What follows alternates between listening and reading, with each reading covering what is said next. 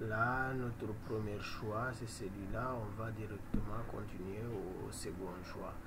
Du coup, le premier, là, c'est de choisir le disque dur entier. Du coup, dès qu'on l'a choisi, là, on peut aller descendre, descendre. Si on voulait crypter, on peut directement cocher ici.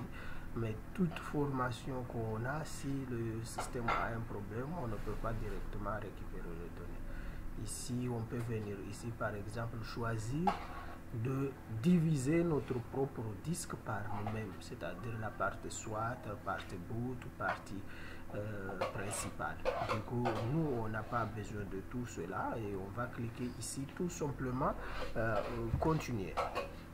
Alors, là, il va le faire à notre place il va le faire à notre place, la partie terminale, la partie etc. Il a divisé directement le disque. La partie boot a 1 giga de RAM, la partie principale, le slash là, c'est 18, etc.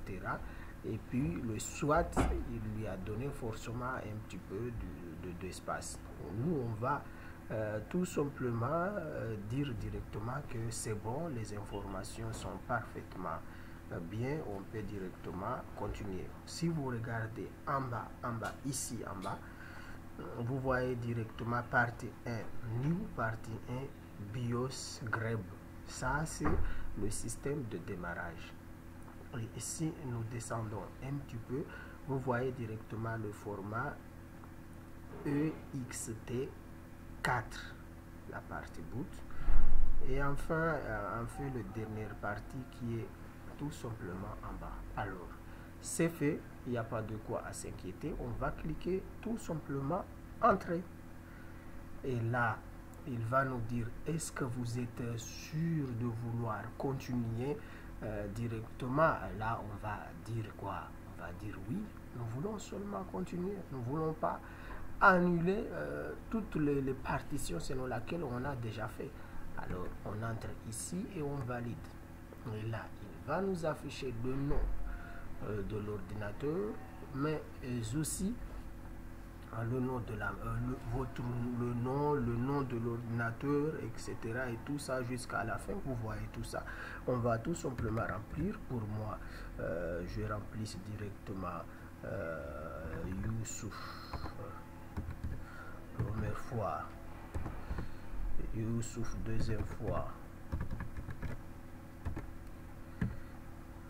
Alors, Youssouf, troisième fois. Et enfin, le mot de passe.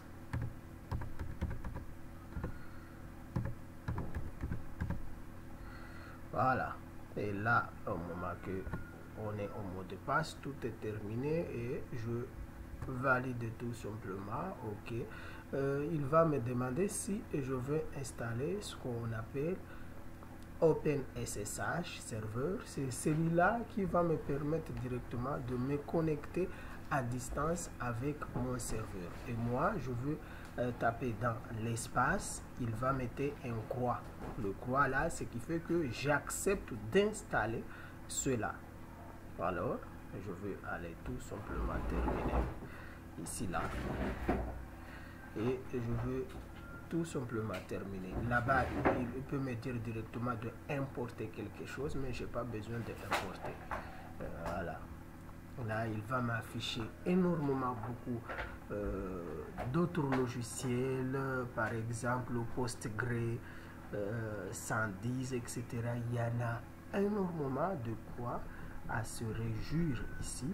Vous pouvez tout simplement cocher et installer, mais nous, on n'a pas besoin de cocher rien du tout. Si on a besoin, on peut directement installer ailleurs, comme le Docker, si vous voyez ici, là. Vous voyez, ça, ça, ça joue énormément un rôle important. Alors, euh, mes amis, il y en a de quoi à se faire réjouir. Alors, nous, on n'a pas besoin. On va cliquer tout simplement ici, euh, démarrer, c'est-à-dire terminer. Voilà, dès que c'est terminé, si vous voyez ici, ça circule, il commence directement à installer Python 3, etc. Il va tout simplement tout installer. Après avoir tout installé, on va faire quoi? On va redémarrer. Alors, on se trouve juste à la fin euh, d'installation pour terminer les autres travaux. Alors, merci. Et patientez un petit peu dans peu de temps. Bon, ici, euh, on, va, on va tout simplement voir directement que notre c'est terminé. Là, il y en a reboot new. Alors, vous pouvez tout simplement vérifier d'abord est-ce que lui, il a injecté directement euh, votre système. Et là, je crois que c'est bien. Et là, vous cliquez directement reboot. Dès que vous avez tapé entrée, là, il va redémarrer le système. Et du coup, euh, là, on n'aura pas de quoi à, s'inquiéter là-dedans. Il vérifie tout ce qu'il peut y en avoir du faille. Et dès que ça s'affiche comme ça, vous tapez tout simplement entrée. Et là, il va redémarrer le système sans souci. Et vous aurez un système parfait avec euh, toutes les, les, les, nouvelles choses. Et là-bas, on peut tout simplement faire les mises à jour et les autres choses. Entre-temps, euh, j'ai installé deux systèmes que je l'avais mis le même nom. Alors, le premier, euh, au moment que c'est terminé, ça s'est redémarré et retourné au début. Alors que là, j'ai changé le nom qu'on a mis Youssouf partout par Fanahal. Du coup, il y en a un Windows Ubuntu pardon 20 qui est la serveur. Il y en a aussi celui-là, je l'avais mis le même nom. Alors, du coup, euh, puisqu'on avait laissé directement qu'il continue les travaux et là je l'ai arrêté et modifié directement cela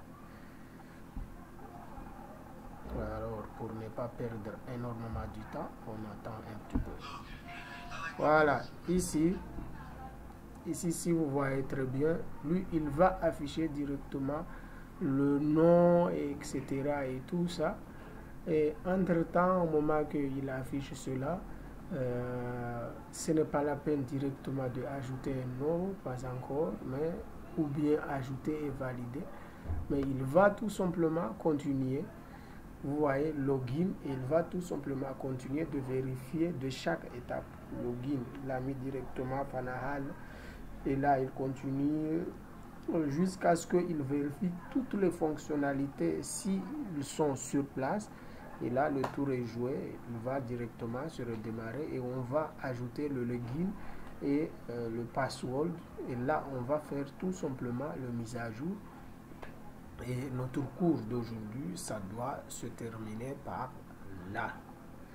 Alors, euh, euh, soyez patient et on va tout simplement revoir tout cela.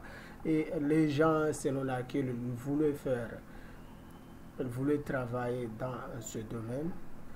Euh, je suis patient parce que j'ai énormément un projet là à débuter et je compte franchement le faire. J'ai déjà travaillé sur euh, Asterisk, la personne qui en a envie directement de, de faire la téléphonie sur IP et tout ça. Euh, c'est déjà fait. Alors, il nous reste tout simplement euh, de faire d'autres horizons, faire l'automatisme, faire la programmation dans le domaine, tout simplement de, des services de serveurs, selon laquelle il y en a beaucoup de personnes qui ne savent même pas que cela existe, alors qu'ils ont fait même la, le master et tout ça. Et là, on va, on va y passer par là. Et du coup, euh, j'insiste pour que chaque personne puisse directement voir quelques notions de commande de Linux avant de démarrer euh, cette option. Du coup, on va installer un système desktop aussi pour tester toutes les différentes euh, commandes avant de se lancer dans le nouveau bataille. Alors, c'est ça notre priorité et là, nous sommes en attente pour patienter jusqu'à ce que lui termine. Et du coup, on va directement euh, se lancer. Voilà. Si vous regardez très bien ici, il y en a le login, il y en a le